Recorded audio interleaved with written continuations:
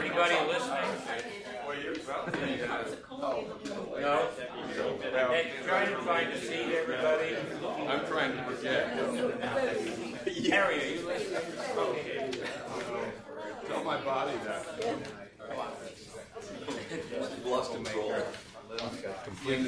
Just one announcement before we get started. Hopefully you're listening to me and those on the outside. I don't know if I've created confusion about the last session of the year. It was supposed to be May 28th, I think, and uh, our sponsor can't do it that week, so the idea was to move it a week earlier. The first suggestion was we would just have the traditional morning session here, uh, Paul McBride's the presenter, and then we'd have the social evening event that same evening. Paul and other people who drive in said, well, it's kind of a hassle to come into Seattle twice in a day. Can we make it on different days? So I've sent out two separate emails asking you to vote which you prefer, both sessions on the 21st, morning and evening, or one on the 21st here, which will be our last academic CME presentation, and then we'd have it the next evening over at, um, what's that place called? Talaris, the, what used to be Battelle Research over by where our old office was. So anyway, if you just give me a vote, uh, I'll pick which one the most people prefer, and we'll go with that system. Uh, hopefully, I don't have to send out any more emails about that. Let's go ahead. We're a little bit late in getting started. Uh, I'm really very happy to have Jonathan Bernstein out here uh, to talk about immunologic disorders of the reproductive tract. I don't think we've really ever had this presentation before, and I don't think there's anybody else in the country who's knowledgeable uh, about this and could give this presentation. It's something we occasionally, each of us, have a patient, but really don't have any depth of knowledge. So this is really a very valuable presentation. Jonathan, thanks for coming. Thank you.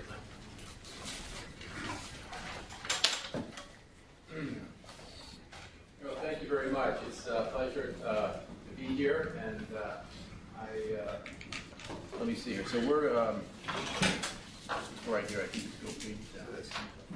Oh, like that way? Okay. All right, so I did, these are my uh, uh, conflict of interest. Uh, I am at the University of Cincinnati. Uh, we also have a, a clinical practice as well. Uh, similar to uh, University of Washington, we have a, uh, a uh, training program, allergy training program. It's a uh, NIH-funded T32 uh, training grant, uh, and so I think it's nice to be in places where we are like-minded in terms of trying to uh, educate uh, well-qualified, uh, well-trained clinical, translational, and basic uh, allergist immunologists. Um, these are the objectives of this talk, which we hope to do. Uh, I want to touch upon the immunopathogenesis of immunologic disorders, of both the male and female.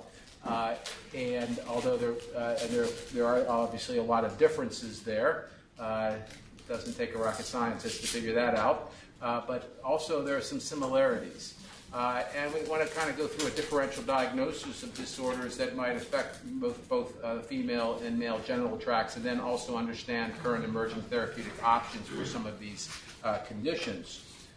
I'm going to start by uh, going over a case report and then touch upon the, both the innate and adaptive immune responses in the male and female, and then also uh, talk about a few clinical conditions, and then conclude by uh, discussing the outcomes of the case report. So this is a 37-year-old female, been married for eight years, who presented with localized vaginal burning and pain after contact with seminal fluid, which began immediately after her first pregnancy. Symptoms progressed to bronchospasm with cough. She subsequently developed more severe systemic symptoms consisting of diffuse itching, wheezing, shortness of breath, flushing, facial swelling, and hives. And on three occasions, she experienced loss of consciousness with convulsions that occurred within 30 minutes after unprotected intercourse. After the third event, the association between these events and unprotected sexual intercourse was finally established by the couple. Uh, there was no history of drug allergies. Uh, the there was a history of food allergy to red and green peppers uh, the, uh, for the female, uh, where she experienced nausea and vomiting uh, and, and headache, but no other symptoms. No, no history of sexually transmitted diseases. They had one child, as I mentioned. Uh, history of seasonal allergies and, and cat allergy, and she was told she had asthma, but never was physician diagnosed and never was treated. Her husband uh, had uh, a history of food allergy to mushrooms, but was otherwise healthy, and his reaction was not really uh, what you would consider an IgE-mediated response either. So with that uh, case in mind, we'll come back to that at the end of the discussion. I want to kind of uh, just talk about what, what we would be thinking about in, in, in this type of uh, presentation. Uh, and certainly on the top of the list would be something uh, you know, referred to as seminal plasma hypersensitivity, but there could also be seasonal allergic vulvovaginitis, recurrent allergic candida vulvovaginitis. It could transfer drugs or foods through body fluids. Uh, it could be an infection could be a contact dermatitis, it could be structural problems, it could be physically induced symptoms as well. So there is uh, a, a, number of things that one wants to think about when we uh, see patients with this presentation. So to understand the, immun, uh, the uh, immunology of the reproductive tracts, we do have to have a basic understanding of the anatomy. And uh, in terms of the female genital tract, it's divided as upper and lower genital tract. And the upper genital tract is sterile, and it includes the fallopian tubes, the uterus, and cervical plug and the lower genital, tra- genital tract is non-sterile and includes uh, the ectocervix and vagina. And the male genital tract is protected anatomically by uh, long urethra, so it's uh, obviously much less susceptible to infection as a result. but most of what the uh, you know, the immune system uh, is attempting to do is obviously protect the uh, female genital tract from an infection because obviously uh, the number one priority is, is conception and giving birth, and you want to prevent these uh, organisms from uh, interfering with that process. Uh, so when, when, you look at what type of um, components of the innate immune system uh, confer protection, the, these would include things like natural antimicrobial peptides, uh, pattern recognition uh, toll-like receptors, defensins, complement, and effector natural killer cells. So, what are these natural antimicrobial peptides? They're, they're whey acidic protein motif containing proteins, and they have two types. There's the secretory uh, uh, leukocyte protease inhibitors, SLPIs, and these include uh, neutrophil elastase, trypsin, and cathepsin G, and there's also elafin, and these proteases are inhibited, uh, uh, that are inhibited include the uh, neutrophil elastase and proteinase 3. Um, they prevent host tissue damage by inhibiting these proteases released by bacteria. They reduce host susceptibility to microbial uh, colonization and infection, and they're found in highest concentration in cervical mucus and vagina where contamination, contamination is greatest, and levels fluctuate uh, during different uh, menstruation periods. The defensins are small catalytic proteins, and there's alpha and beta defensins, and the alphas are found in neutrophils and on epithelial surfaces, and the beta defensins are constitutively expressed or induced after challenge with any with an inflammatory infectious stimulus. And, and they have chemotactic, antibacterial, antifungal, and antiviral properties important for host protection. And this just illustrates the distribution of these uh, natural antimicrobial peptides and defensins in the female genital tract. And you can see that throughout the sterile and non sterile uh, parts of the uh, female genital tract, there's a good di- distribution of these uh, protective um, uh, uh, proteases and defensins. Now, this just illustrates the um, have a pointer, the fluctuation, and again, depending on different parts of the menstrual cycle and so forth, you can see that uh, these uh, defensins uh, and these antimicrobial peptides uh, uh, do peak at certain times throughout the menstrual cycle, again, for various reasons to help protect against infection. Toll-like receptors, which we know quite a bit about, and a number of different processes, are also very important in the reproductive tract, and they're ubiquitously expressed. They're located on uterine natural killer cells. They respond to different ligands, leading to increased cytokine and chemokine production or chemotaxis of monocytes and neutrophils into the surrounding tissue. And one can see here, um,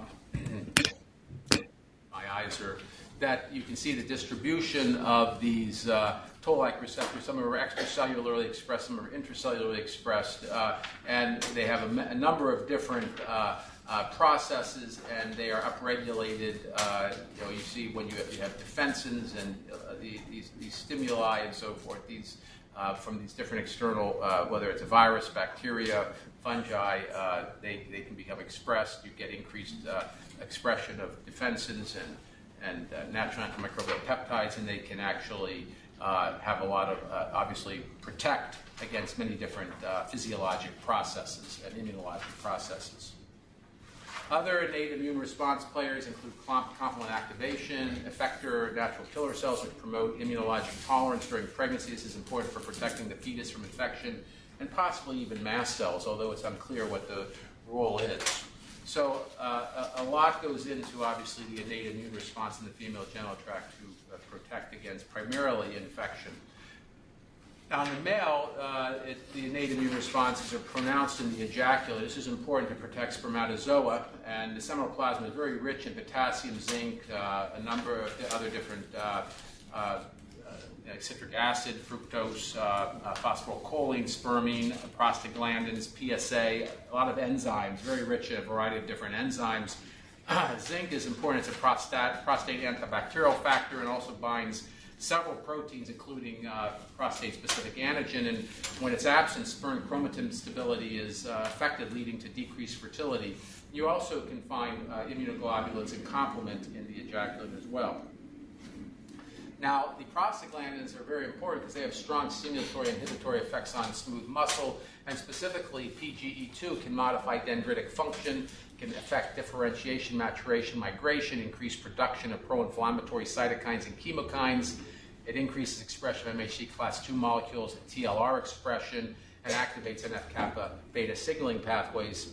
And PSA is also important. It's a serine kallikrein inhibitor, and it's really important for clotting and lysis of clotted ejaculates. And as we know, it's a nice marker for prostate cancer, but it also activates PBMCs and resulting increased secretion of interferon uh, gamma by natural killer cells.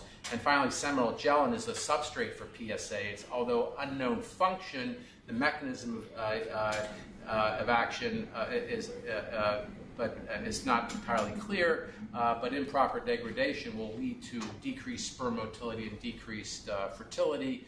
Uh, it, PSA does cleave semenogelin, which leads to semen liquefaction, uh, liquef- liquefaction and sperm motility. So a number of these things can go awry and can affect uh, uh, processes, normal operating processes. Now, in terms of the adaptive immune response, it's important to note that the female genital tract does not have an organized lymphoid tissue. It, it possesses antigen presenting cells that express MHC class II molecules that are under hormonal control. Uh, the uh, endocervical uterine fallopian tube epithelial do elicit specific immune responses uh, that can increase cytokine chemokine responses, important for protecting from infection and protecting the ovum during implantation during pregnancy. Uh, and it's interesting that the, uh, these pathogens and hormones do influence the general microenvironment by favoring induction of immunity or promoting viral invasion. An example of this is the HIV-1 virus, which uses the CCR5 chemokine co-receptor to facilitate infection. So it's been speculated that women taking oral contraceptives, which increase the CCR5 expression on CD4 cells, may be at increased risk for HIV viral transmission.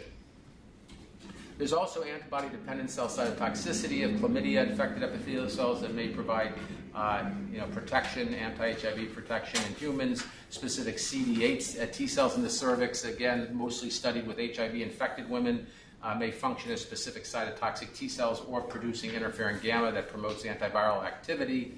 Uh, and again, women with pelvic inflammatory disease or recurrent chlamydial trachomatis infections have been demonstrated to have decreased gamma interferon production in response to heat shock protein 60, which is not seen in women with fewer infections. So, again, these are other uh, responses.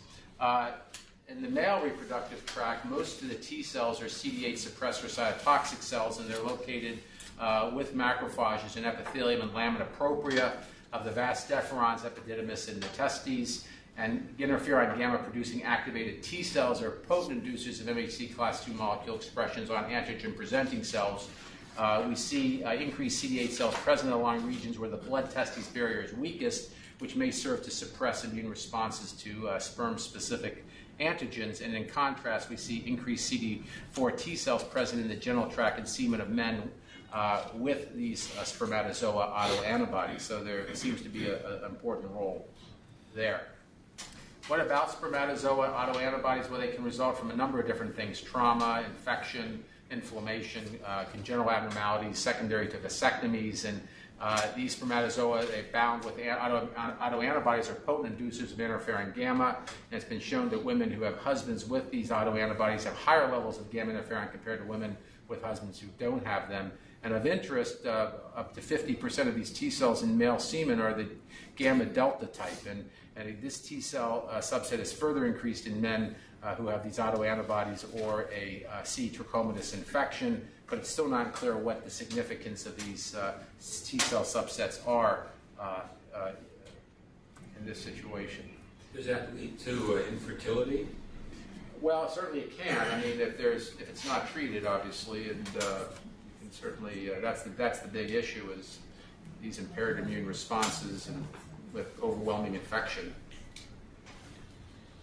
Um, the uh, now the heat shock proteins are very important uh, in the in the uh, genital tracts. Uh, they're produced in response to microbial infection, inflammation. Uh, they're, you know, important. Any any kind of inflammatory stimulus can cause the release of heat shock proteins from endothelial cells. Uh, they're important for down-regulating pro-inflammatory immune responses. Uh, they prevent intracellular protein degradation, incorrect polypeptide assembling. They inhibit macrophage production of IL-1, TNF-alpha.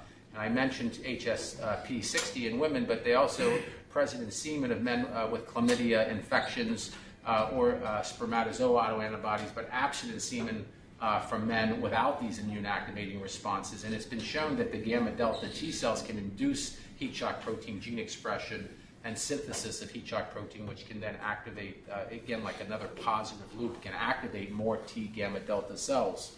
Uh, so it's uh, what I've what I've been very in my review of all of this. There's really uh, most of the research that's being done, obviously, is interested in fertility, but there's still uh, a, a lack in terms of our understanding of the relative roles of these immune processes and other conditions, which I'm going to now turn to and talk about the clinical uh, conditions that involve the female and male genital tracts. And some of these we may see. I know as allergist immunologists, we do see a lot of autoimmune conditions. Our division, just like I saw outside, you have rheumatology here, but ours is immunology, which is comprised of rheumatology and allergy. So there is some overlap and in some cases convergence. And I have my, I have some cases of reactive arthritis. Um, the, and um, as well, uh, but uh, again, not very common cases. Uh, we'll also talk about IgE-mediated diseases and, uh, and then some idiopathic conditions which are starting to emerge and you'll start to hear about. The autoimmune disorders are the, the uh, reactive arthritis, which used to be called Reiter syndrome. The American Rheumatology, uh, uh, uh, College of Rheumatology, and the organizations have gone through a renaming process of several conditions like Wegener's and Reiter's because these uh, conditions were named after notorious Nazis. So now they're calling them these different names and so forth. But um, so, so this is AKA Reiter's. Uh, occurs after genital urinary or GI tract infection. The triad is non-gonococcal urethritis, conjunctivitis, arthritis. Uh, for this reason, we're not going. We might see them when they present with some conjunctival problems or and such, but we, we don't get to see these people that much. Um, uh, they do get what is mistaken as recurrent infections, and sometimes we see them because of immune def- deficiency workups and things like that. When men are more common uh, than women, and they express HLA-B27. They get dysuria, urethral discharge, prostatitis, epididymitis, and in women they have uh, you know dysuria, vaginal discharge, cervicitis, and vaginitis, and uh, chlamydia trachomatis is the most common cause of these uh, infections, but the immunopathogenesis overall is unclear. Uh, Behçet's, again, also unknown, and uh, the immunopathogenesis is somewhat unclear. Uh, recurrent episodic oral and genital ulcerations of the scrotum and penis in men, and cervix and vulva region in women. Uveitis is very uh, it can occur, and approximately 50% have large joint synovitis during acute attacks, and they have demonstrated the CD8 T gamma delta cells showing up uh, in this in this condition, uh, and that uh, exposure to microbial antigens may be a contributing factor in these in certain individuals who express HLA-B51. so again, not much. It's a clinical. It's really more of a clinical uh, uh, diagnosis. There are some markers that are associated with these conditions. Now, what we see more commonly, and you know, is are women who have these recurrent uh, vaginal infections, and I expressed an interest with this because this was something that uh, Jim Metzger, who uh, you may recall, uh, he actually was very interested in this, and we were actually about to embark in a, a clinical trial to understand whether or not there was an, a, a localized IgE hypersensitivity response before he got sick and passed away, unfortunately. So it never went beyond that. But um, but we see uh, patients, uh, obviously, quite frequently who have recurrent vaginal yeast infections are always worried that they have some kind of allergic process going on that's predisposing them to this. Uh, again, certainly we know that women with diabetes or oral contraceptives or taking recurrent antibiotics are more susceptible, uh, but most women have no recognizable risk factors. It has been shown that uh, abnormal macrophage responses to Candida results in increased PGE2, which can inhibit lymphocyte responses to Candida, and that uh, anti-Candida IgE antibodies and PGE2 are increased in the vaginal fluid of women with recurrent vaginal candidiasis. Um, and um, vaginal hypersensitivity Candida may be caused by increased levels of PG2, which can suppress localized vaginal cell-mediated immune responses, resulting in yeast colonization and recurrent infection. So uh, this, again, uh, was the extent we understand about pathogenesis of this condition. Uh, however, uh, this condition uh, has been described, vulvovaginal Candida hypersensitivity, women presenting with recurrent vaginal Candida, Candida infections, culture proven, no identifiable cause, not responsive to topical or systemic antifungal therapy, and you can demonstrate specific IgE antibody responses to Candida albicans or uh, other cross-reacting uh, yeast uh, like Torulopsis glabrata or something of that nature. And this was Metzger's uh, study who treated 18 women, an open label study, not blinded, with recurrent vaginal uh, candidiasis with subcutaneous immunotherapy. And they found that 96, 90, 79% experienced a decrease in the mean number of vaginitis episodes after one year of treatment, which was quite uh, statistically significant. And this has been confirmed by other case reports and case series, but as yet we've not done a controlled study. Yes?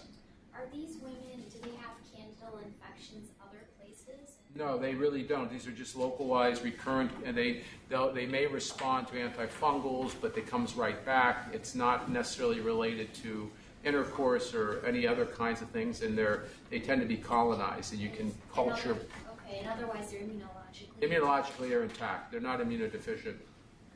And again, these really aren't common types of infections we see anyway with uh, immunodeficiency. Um, And the specific IgE is in the serum, I presume? You can measure it in the serum, and you can also measure it in, in, in, in they have measured it in uh, localized vaginal lavage fluid as well, but we measure it in serum. You can skin test them as well, uh, and they will elicit responses. That being said, it's it's not always uh, at the cutoff of one to a thousand, which we usually do with intracutaneous testing. Sometimes they require a little higher concentration, but uh, it's you know, but it is uh, it's an interesting phenomenon, and we've actually had some experience treating some of these women, and it's amazing the response. They're the most grateful people you'll ever want to meet once they've actually, and you don't have to push them up to high. In con- contrast to conventional immunotherapy, you don't have to dose them with high concentrations. You can really uh, get up to uh, a one to a thousand or a one to a hundred dilution, and they'll get benefit. And the length of treatment, you know, it's it's not entirely clear. We follow similar uh, guidelines with immuno- conventional immunotherapy in these women, and they do quite well. They are they, they require they, they don't get infections anymore. It's a, it's an interesting uh, uh, response. So uh, more needs to be done in this area. It's an open area for further investigation. Um, I want to turn. Do gynecologists recognize that condition? Do not really. They don't recognize a lot of these conditions, and they basically it's sort of their it's, it's their their bane of their existence, just like fibromyalgia, the rheumatologist, and what we consider maybe non-allergic rhinitis is the bane of our existence. Although I kind of like treating that disorder. Okay, so. Uh, I think it's an open area of uh, interest and so forth. So we, everyone's got their chronic uh, conditions that have that are poorly ill-defined, and uh, so they don't really. Uh, and I do get referrals though, because some of the local ones know that I have interest in these areas, and or somehow they find me. I don't know. Um, but uh, but it's not like they're breaking down the doors, you know. But I think there's more people out there with this problem than it needs to be assessed. You've just done open label immunotherapy on these women? Yeah, I didn't. I, I didn't. I tried applying for some, you know, industry-sponsored grants, but there's no intellectual property here, so it's not really a large interest, and there's not a lot of clinical funding for trials these days uh, that don't have uh, significant, you know, funding. I mean, intellectual property opportunities and so forth. So. Um, it would be a nice collaboration to do a, a, a, a good trial here. I think you would be. Uh, uh, it, it's an under. It's a women's health issue that needs to be further evaluated. So, I'm open if anyone wants to collaborate. Okay.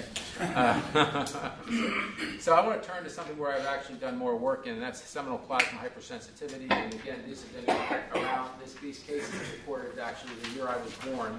Uh, so I don't know if that was Providence. And uh, since this initial uh, case uh, uh, that was reported, uh, numerous cases have been subsequently identified. and we kind of break them down, for lack of better purposes, into systemic and localized. And the syst- systemic, they have symptoms of what you'd expect with anaphylaxis, hives, facial swelling, and angioedema, wheezing, respiratory problems, GI symptoms. The most severe extreme situations, as in the case I described, vascular collapse, you know, uh, passing out, um, and so forth. Now, the localized ones, which actually I see a lot more of, are these immediate uh, postcoital vulvovaginal burning and pain uh, types of cases, which can persist for hours and days. So we uh, call this localized. And um, the, uh, it's a diagnosis by exclusion.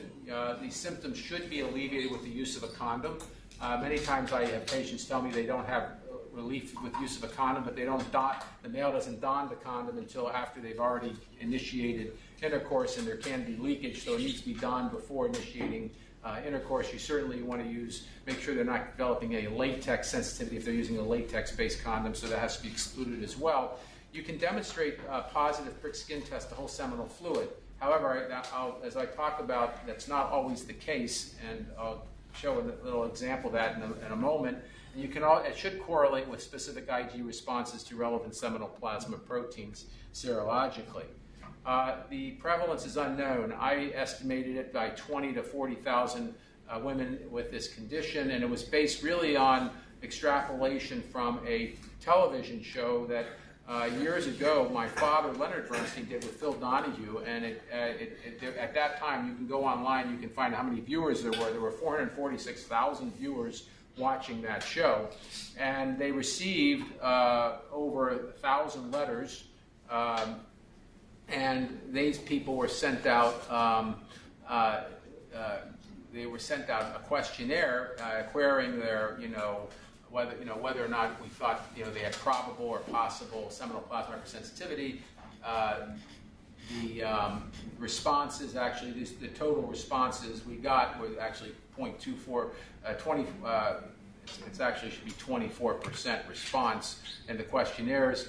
Uh, and basically, it was from that we found that 130, uh, 130, uh, actually it is 0.24%, I apologize.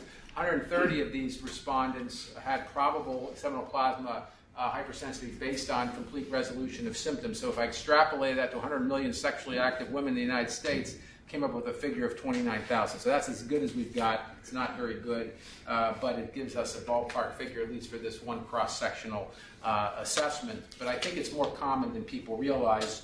Uh, and and I, this is, uh, I get emails every day uh, for people asking questions about seminal plasma. You know, do they have this problem? And I know that you've had some cases here as well. So it's not as uncommon as people think.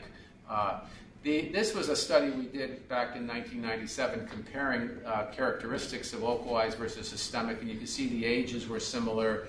Uh, there really wasn't much difference, except that interestingly, we saw that uh, there was a much greater onset with first time intercourse in localized reactors compared to systemics, and they, there was some signal of a possible food allergy increasing in the systemics compared to the localized, but uh, it, they, otherwise, they had very similar uh, characteristics. We did an updated analysis uh, with a larger population uh, that was published last year, and again, uh, we saw in this situation systemic reactors were a little older. Uh, the duration of symptoms were a little longer in the systemic. I think probably not understanding what was causing this. And we, we saw that the systemics actually were approached have been more atopic, but it didn't it didn't uh, reach statistical significance. There was a small population that reported increased incidence of dog sensitization. I'll speak to that in a moment. Uh, but otherwise, there were not any other statistical differences. We didn't find the, um, they didn't correlate with the findings that we found in our previous study in terms of food allergy and so forth. Um, so, again, we don't really have any distinguishing clinical characteristics that predict uh, these uh, differences between the localized and systemics. If you look at the types of reactions that people have, systemics and localized, there's overlap that they Systemics can also have localized symptoms, uh, deep pain, burning, redness, rash, and blisters, but certainly um, we see this more in the localized reactors. And then the systemic reactors' most common problem is generalized itching, but uh, a, a, subset get hives and respiratory problems as well. So uh, the uh, it's been shown uh, previously that there are several Ig binding bands uh, that might be uh, important in seminal plasma and this uh, was reported uh, by uh, Weidinger's group uh, that uh, PSA uh, was thought to be a major allergen in these individuals, and this is a, a glycoprotein, 32 kilodaltons, and again, it, patients Ig binds to the deglycosylated sem- seminal plasma proteins, indicating that the carbohydrate moiety is less important for allergenicity. We demonstrated that uh, in our lab. That, that we haven't reported it yet. Um, so this is just showing uh, not only is PSA important, and this is basically uh, SDS-PAGE and immunoblots, and this is uh, this this is uh, uh, a, a, normal control, and these are four patients with seminal plasma. In this case, we can show uh, a, a band that corresponds with the molecular weight for PSA but we have several of these bands down here that are 10 kilodaltons. And one thing about PSA, it's a protease, a serine protease, so it auto digests, and so you get these uh, fragments of PSA uh, that uh, show up, and we've demonstrated that by mass spec, uh, mass spec. You can see the peptides from prostate specific antigen.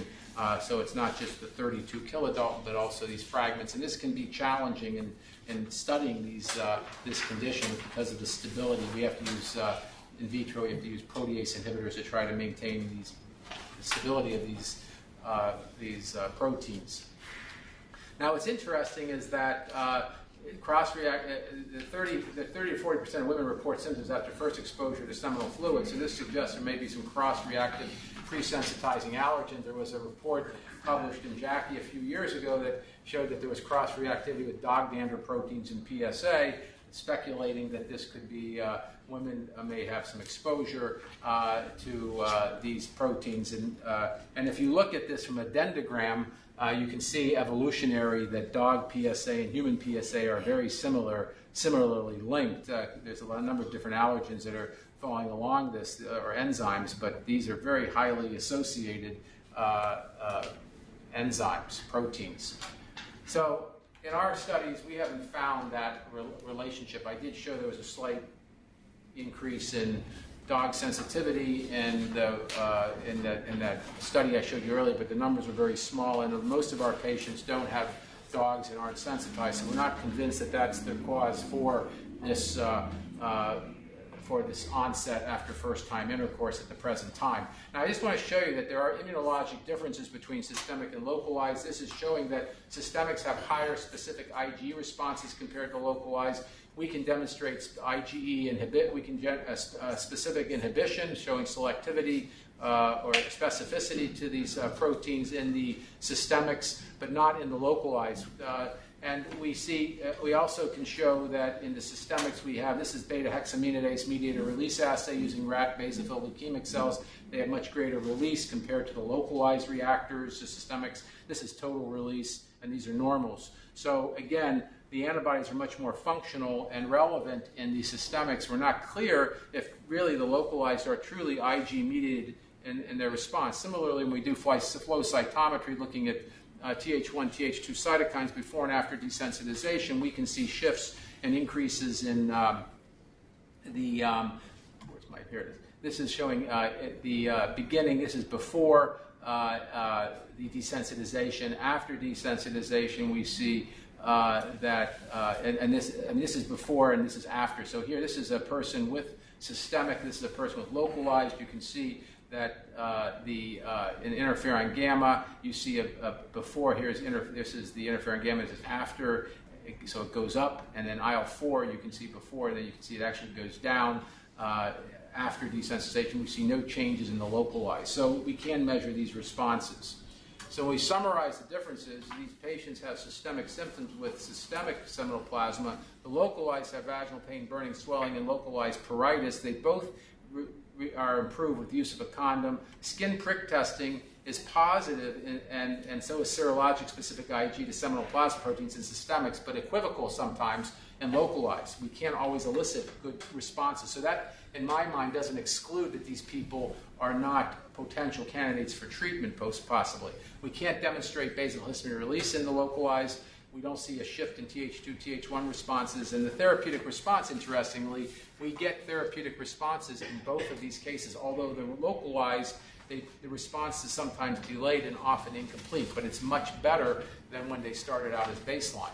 And they're both able to conceive. Uh, fertility is not an issue. So our treatment recommendations, obviously, until they can actually get assessed and evaluated, is avoidance. We try using antihistamines, other other medications, which is often ineffective. There's now a number of cases showing that graded intravaginal challenge using whole seminal plasma may be effective, and it's certainly a reasonable first approach because it's less time consuming, less expensive, and easy to administer. However, the gold standard has been subcutaneous desensitization using relative seminal plasma proteins, which has been shown to be effective to systemic and localized. But I much favor the graded intravaginal challenge because this is a lot of work to do that process to fractionate and to isolate these proteins. Um, the reason we actually did this process because early on uh, there's been some studies showing that high molecular weight seminal plasma factors can suppress cell-mediated immune responses. And actually, Zvi Marcus, who uh, was working in our lab many, many years ago, was working on fertility issues, uh, uh but found that several fractionated seminal plasma proteins exhibited immunosuppressive properties. And so we basically extrapolated that to have relevance in our observation early on when we didn't see responses to graded vaginal challenges, and that's why we started fractionating. But uh, again, that may not be entirely clear. This is just an algorithm that's been I, I published in a, a, journal, and it just basically goes through this whole process of testing and trying some of these other problems first because they're first do no harm and easy for the clinical allergist to do. Uh, if it's effective, obviously they can continue that. If it's not, uh, intravaginal graded challenge. If it's effective, great. They should maintain unprotected intercourse. If it's not effective, then we should think about other approaches uh, such as these uh, fractionation and subcutaneous desensitization. I want to just, I know I'm running a little bit late, but I'm just going to talk about a couple of things real quick and conclude. Uh, the Gulf War, uh, in 19, uh, in, after the first uh, tour in, uh, in the Iraq War, uh, these veterans came back and they started complaining of burning pain after ejaculation. And some of these co- cases caused localized vaginal burning pain in their sexual partners.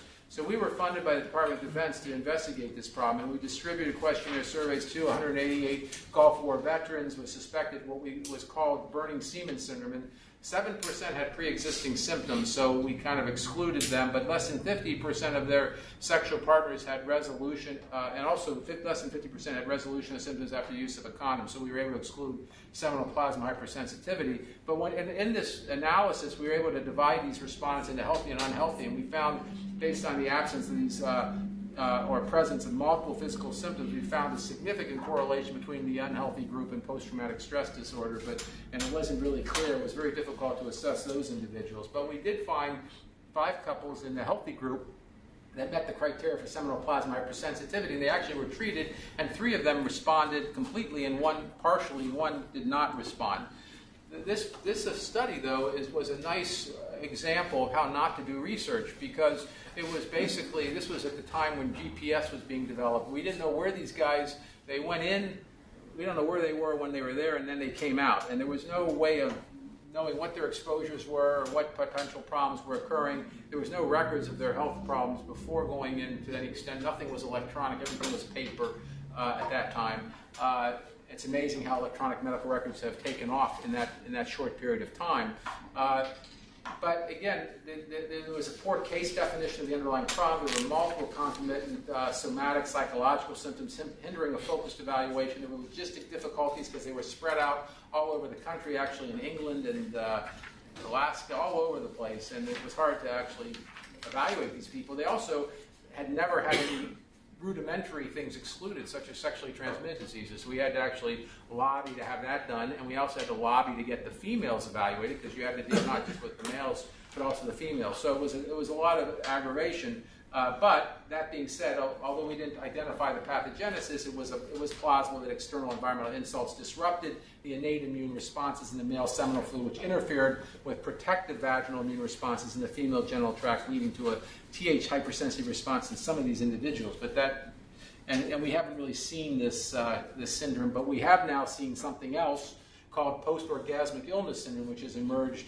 and it's actually been out there for quite a while. In 2002, uh, men began reporting severe fatigue, low-grade fevers, flu-like symptoms, uh, concentration difficulties, and it occurred after ejaculation. Uh, uh, this uh, Waldinger from the Netherlands put together this criteria of, of their diagnosis. You can see here that it's a relatively protracted uh, problem, lasting up to two to seven days uh, and there's spontaneous resolution. Again, in some cases, niacin has seemed to help, but uh, and, and, in, and in two cases, Waldinger desensitized them to their own semen, which was very unclear whether they were doing whole seminal, whether they were doing seminal fluid or spermatozoa. It was just totally unclear what was being done there. Right now, it's an idiopathic disorder that uh, requires more investigation, and there is initiatives to actually uh, study this condition further. Um, so let's go back to our case and conclude here. So the patient and husband were provided serum, and, uh, and the husband uh, provided fresh pooled ejaculate, which collected over five days. We did prick testing to whole seminal fluid, which was confirmed. He, uh, although uh, serologically, as you'll see, we didn't really see robust specific IG to whole seminal fluid in our ELISA assay.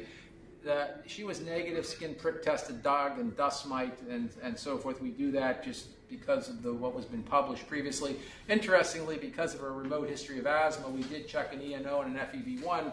The FEV1 was normal, but her ENO is 118 parts per billion.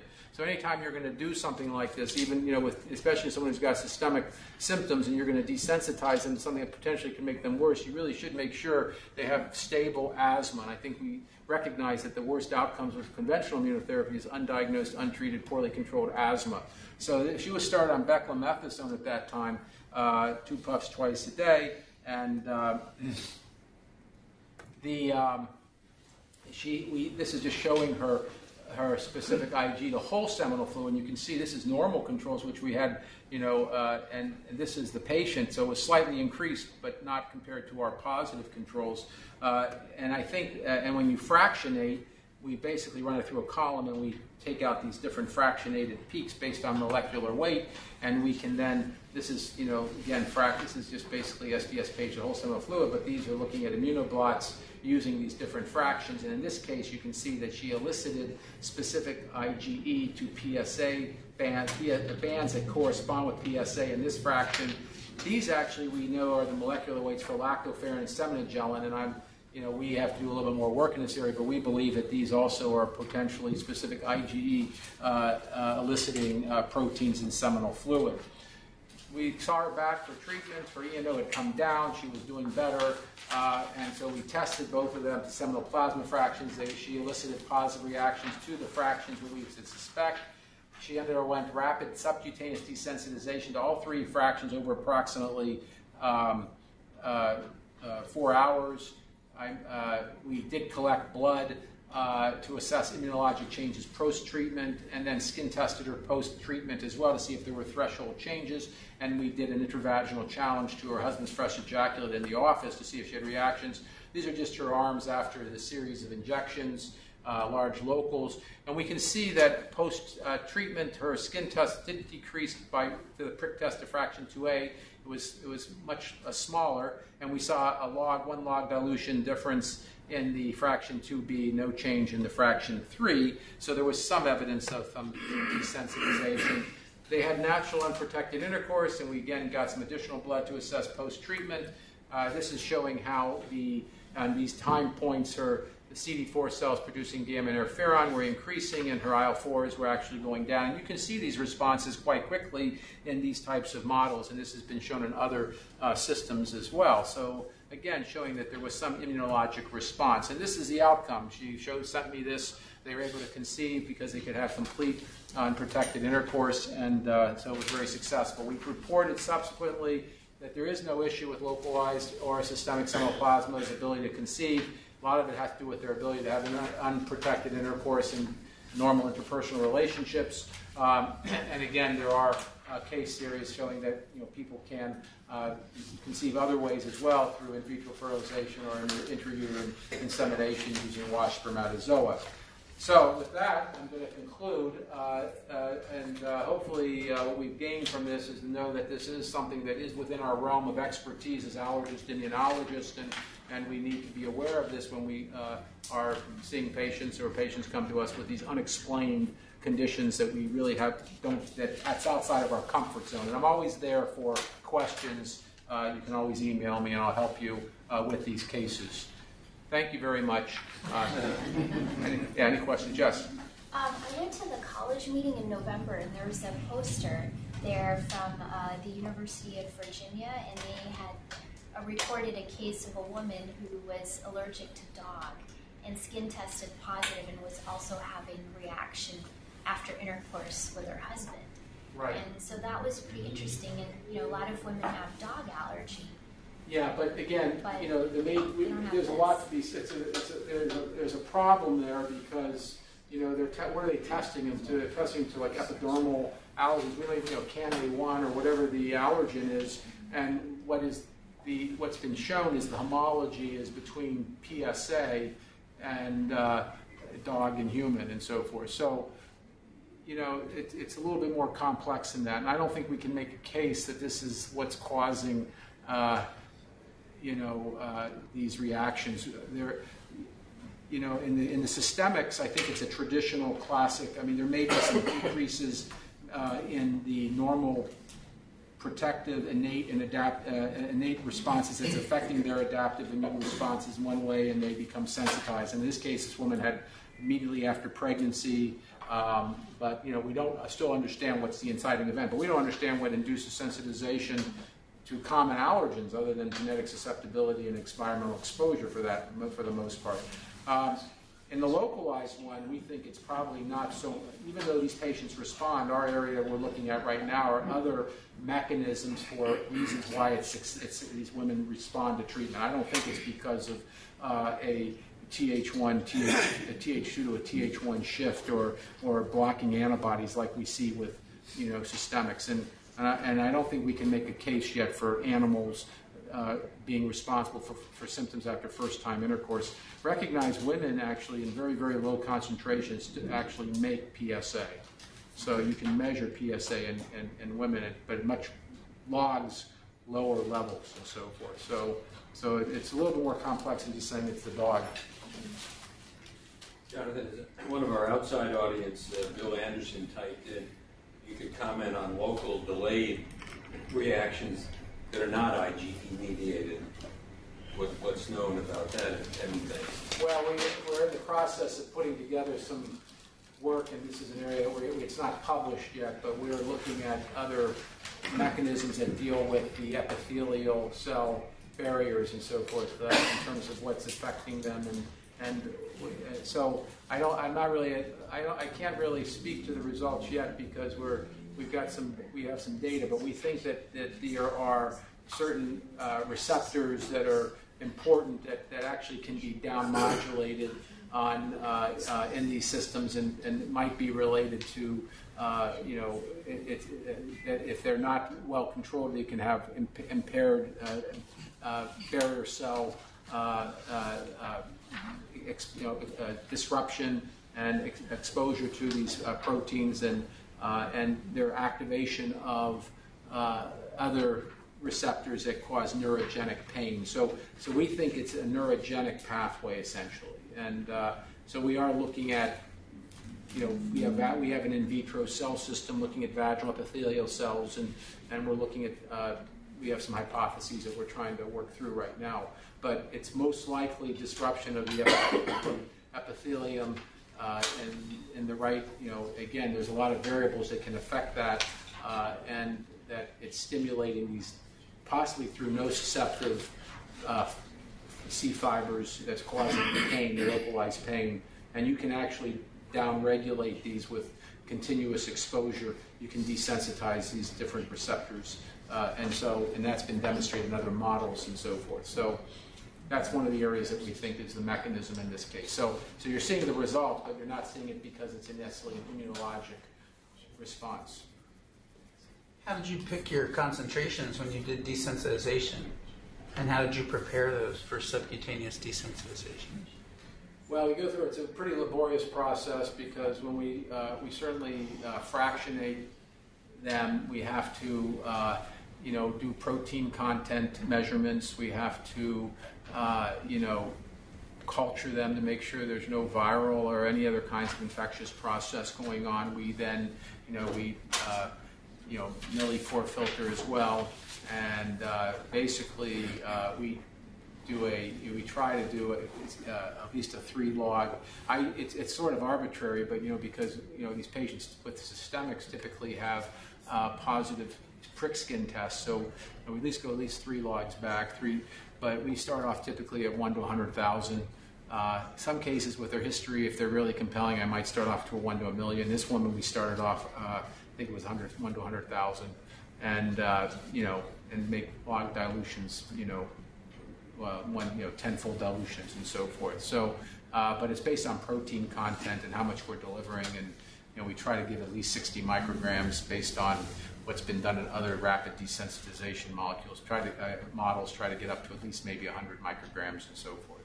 And did you have to go through your IRB at your institution to do You know, that? interestingly, early on when this was considered research, we did, but when we tried to submit an IRB and informed consent for that, before they said this is standard treatment now because it's published, and they didn't require a IRB. We did get IRB consent for blood work subsequently, which I have a universal IRB consent that lets me draw blood for investigating a number of different uh, allergic disorders. Uh, so it's sort of a generic template. So, uh, but we didn't have to do it for treatment because these, we still have patients signing a consent, but it's not a university IRB consent any longer. They wouldn't, they didn't think it was necessary for us to have uh, an ongoing consent since it's, it's been shown and proven to be effective. This is kind of random. I was thinking about the spermatozoa autoantibodies, and um, you said it was the gamma delta T cells that were predominant there. We those respond to some atypical antigens in general. I was wondering, is there something antigenically unique about spermatozoa in terms of like nucleic acids or, or even flagella proteins that make them hit the radar there somehow? It's hard to know. Um, you know, I think most of those models are related to, you know, external stimuli that's causing disruption, and whether it's infection or, you know, something, you know, that's activating this process. Maybe heat shock proteins are, you know, involved as a result of these inflammatory stimuli, but we don't really know. I mean, obviously, normally it shouldn't. There shouldn't be any uh, any issues. I mean, uh, in terms of you know normal uh, fertility issues and so forth. But again, there's a lot of other things that bathe in the seminal fluid that bathe these spermatozoa that they can be out of whack and so forth. And you know, we haven't done large population studies to to look at.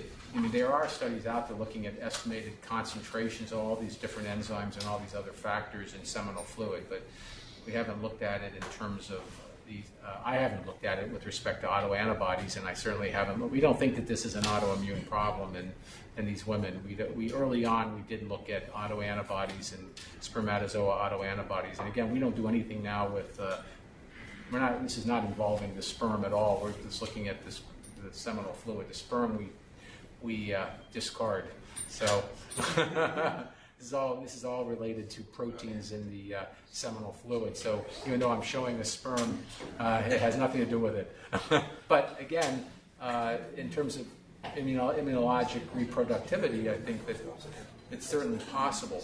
And we're being taught that the uh, parts of the reproductive tract are sort of immunologically protected, those ordinary fluids themselves are part of that protected area. They are. I do wonder if you know we're actually protecting against yourself from those things that are actually being you know projected outwards. So I wonder if maybe somehow it's a protective mechanism for the you know the sperm producer. Right, exactly. There's something, something's going awry. And these are difficult problems to assess because we don't have good animal models. If you're going to do an animal model, the best model would be a rabbit because they have the closest genitalia to humans. Uh, you, mice don't really aren't good models for this, or, or rats. But uh, so it is a um, difficult to study because you're dealing with two variables. You got the woman and the male. Is it a problem in the male, a problem in the female, a problem in both? And you have to study all these different factors, and it's uh, it, it, it, it's it's a little challenging in that respect when you start thinking about good study designs to unravel these some of these questions. John, I was always taught that women should have this if they really have an immunologic disease with intercourse with any man. And, I, I've had a couple of cases where that was not historically the case, and it seemed that ultimately it was an emotional, psychological problem when they reported symptoms only with one male partner. Is that, do you see people with that I've, situation? I've seen it both ways, where it's, it's you know, uh, interestingly, when you look at our populations uh, reports, uh, these women tend not to be very promiscuous. They, on average, like 1.4 sexual partners, under two partners. So there's not a lot of experience. A lot of these, as I mentioned, 40% after first-time contacts, they never had intercourse before. So, uh, so it's. I- So it's sometimes hard to answer that question, but I've seen women who reported with other sexual partners. I've seen it where they've never had trouble with other partners uh, before, but many of them are first-time exposures. So, uh, but so I can't really fully address that, but I do think it's it's not one or the other per se. So Is it unique to the genital tract, like oral sex? They don't have that problem? don't see it with oral. Don't see it with interestingly, and I think that's other obviously of other mucosal, uh, you know, protective immune responses there. That, Then you know, oral, you know that that's the least sensitizing route, right? oral immunotherapy then may not work anyway. It doesn't seem to. And I'm not sure that would be well received. So, uh, I have to be very sensitive issues. I to very.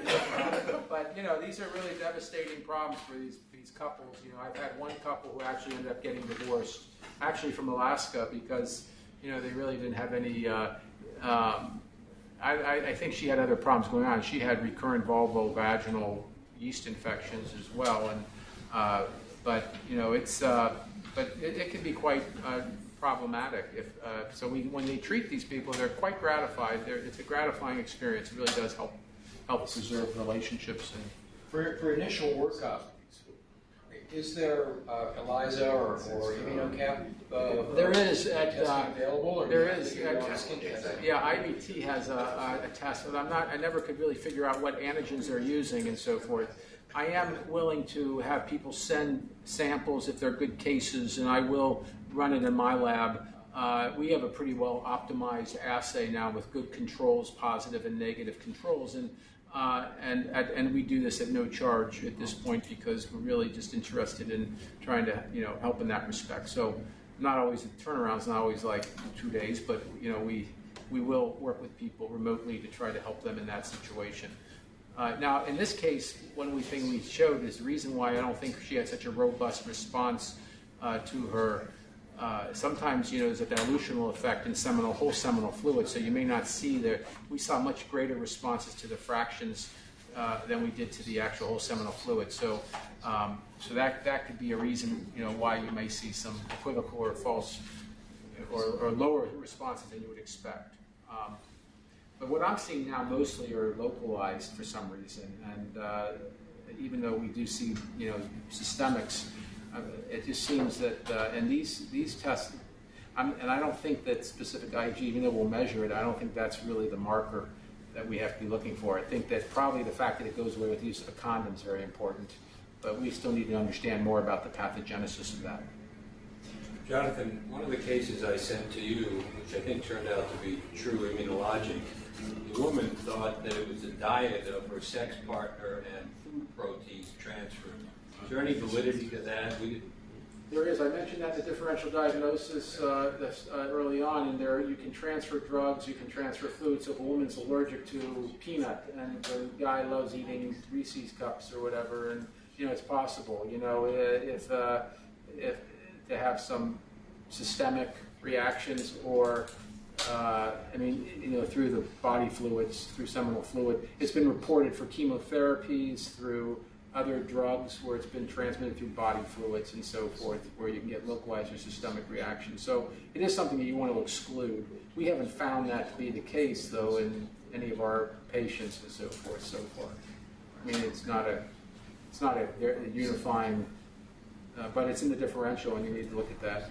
Yes. How do you decide which women get desensitized to candida for the people with recurrent Kindle symptoms? Well, we like to demonstrate a specific response, IG response, and uh, honestly, um, So do you use a vaginal challenge to use to determine who is the candidate for desensitization? no, we skin test them to the Candida albicans commercial So strictly done on skin test. Skin testing, and uh, we did do some serologic testing before. We um, we don't do any provocation. We like to demonstrate that there's culture proven Candida, that they have to have positive Candida, and they have to have, you know, obviously the recurrence of this in, in, in the absence of diabetes, oral contraceptives, and recurrent use of antibiotics, uh, and having had, you know, responded to antifungals, but it recurs and, and they can't get off the antifungals and so forth. So, um, so that's the kind of criteria we use.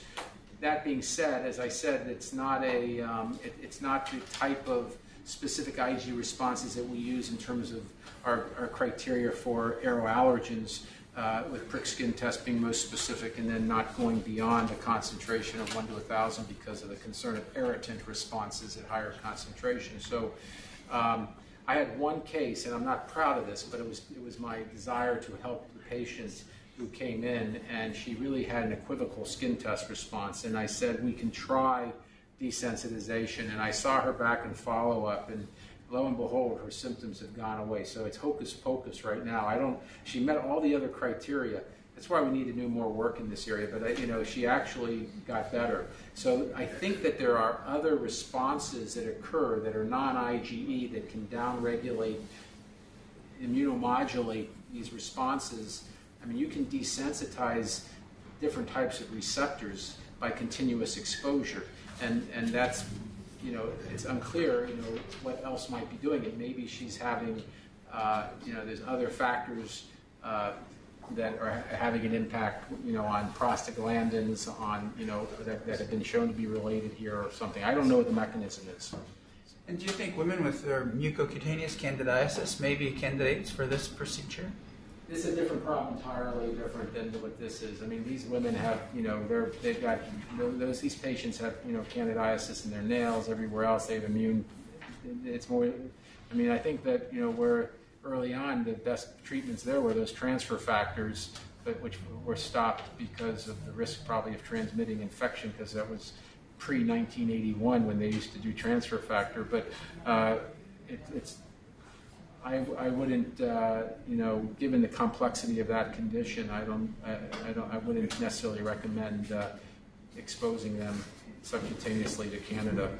Uh, it's a, that's a, that appears to be a totally different immune immunologic disorder. We have a couple cases like that, you know, and uh, I haven't really been bold enough to do that presently. We're trying to make some transfer factor for them, but that's very difficult too these days. It's not a hard procedure. It's just you got to get through the IRB and everything else. It's kind of a lot of work for a single case. But Thank you.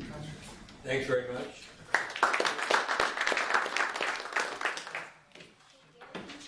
You know they have roach tablets for oral therapy. They're they're working on roach tablets for oral antibody positive to candida. No wonder they almost It